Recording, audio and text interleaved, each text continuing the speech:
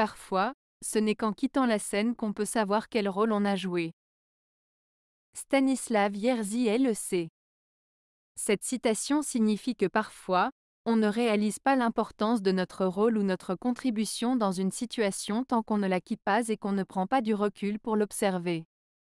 Cela peut s'appliquer aux situations professionnelles ou personnelles où on peut ne pas comprendre l'impact de nos actions jusqu'à ce qu'on prenne du recul et qu'on réfléchisse sur le rôle qu'on a joué.